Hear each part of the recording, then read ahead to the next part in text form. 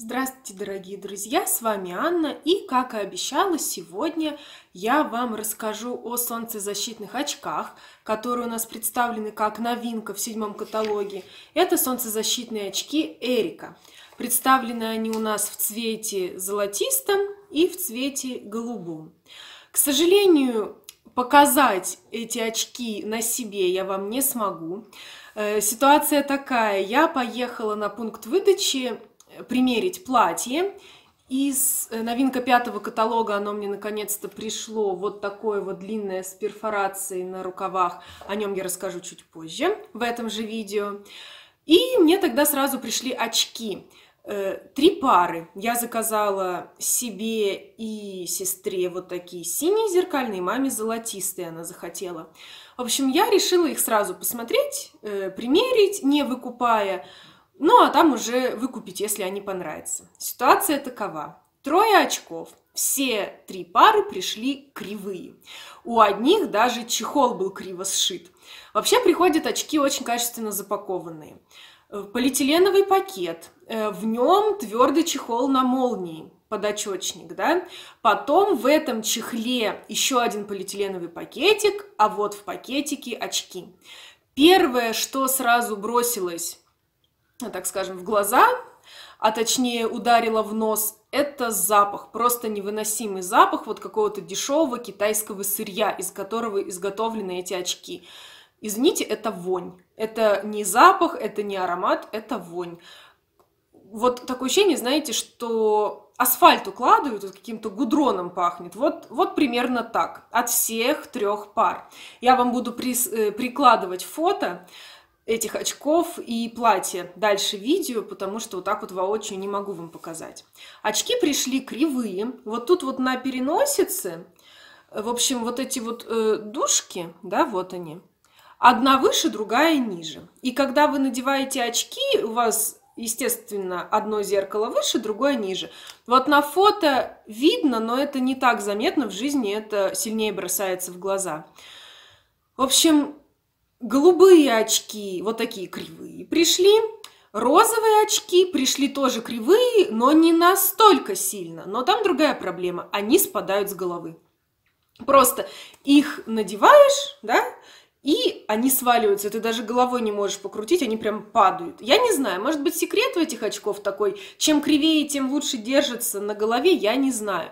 Ну и форма тоже очень такая специфическая, не знаю, я вот сколько обзоров на YouTube видела, и на пункте выдачи мы там все примерили эти очки, ну так посмеялись грустным смехом, да, Никому форма не подошла. Очень странная. То есть тут вот на пол лица, ну, это, конечно, на любителя, но эти очки 600 рублей не стоят. Ну, это мое личное мнение. Даже с учетом кэшбэк мне они обошлись 445 рублей. 445 рублей они тоже не стоят, к сожалению.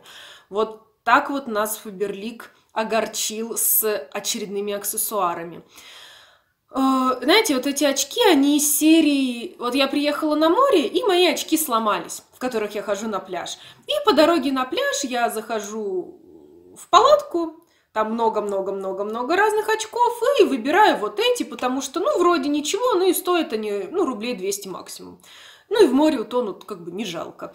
Вот это из этой серии, но явно это э, такой вот прокол компании Faberlic. Это не ну, не дос... этот товар не достоин нашей компании. Все-таки наша компания пытается себя зарекомендовать, и часто у нее это получается как компания, производящая качественный товар. Но здесь нет, к сожалению.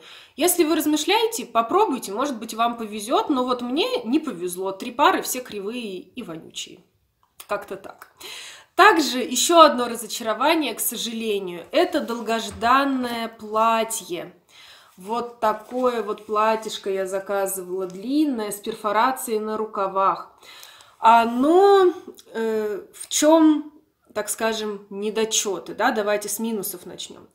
На мой рост 180, талия не на месте. Вот вы видите фотографию, там еще такая проблема, что зеркало на пункте выдачи так под наклоном находится, поэтому нижняя часть кажется больше, чем она есть на самом деле. Как-то я, знаете, так быстренько сфотографировалась и убежала оттуда. Вот. Э, в общем, талия не на месте, ее хочется отдернуть. Но это я бы могла еще пережить, ладно. Э, знаете, главная проблема э, в чем?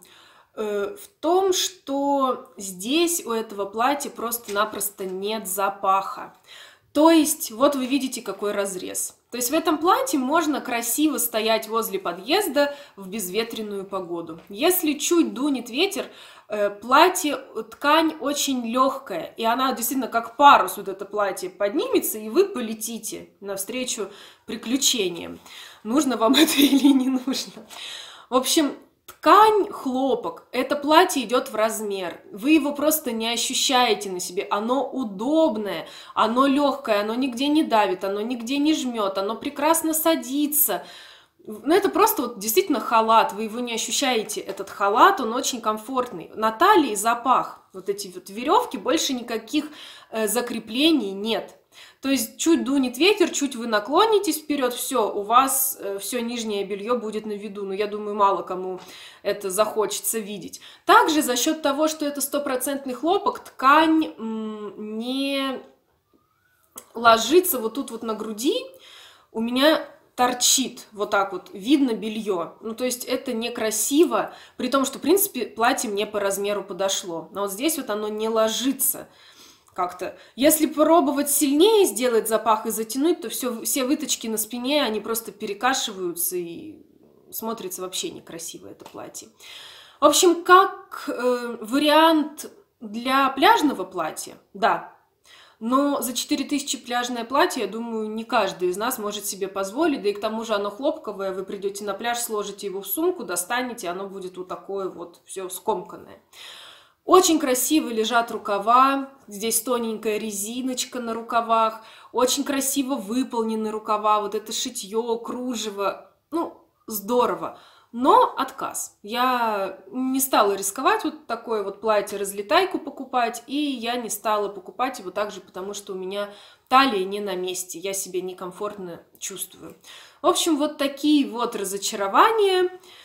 Это, повторяюсь, да, мое сугубо личное мнение, но вот это платьишко, к сожалению, я очень долго его ждала, и, к сожалению, оно ушло, я с ним попрощалась. И вот эти вот солнцезащитные очки также не подошли. Я тоже им сказала пока-пока. Возможно, вам они подойдут.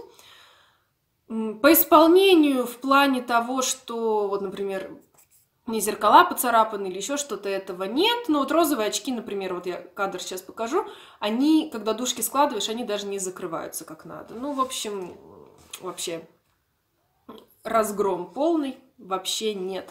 Ну и вот это платье, к сожалению, тоже мне не подошло.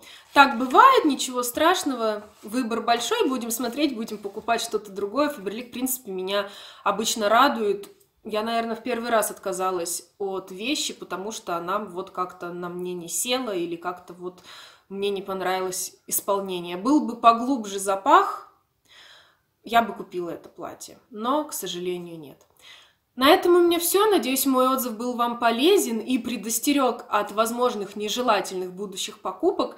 Подписывайтесь на мой канал, на мою группу ВКонтакте. Вся информация под видео. Буду рада вашим лайкам. До свидания, до новых встреч!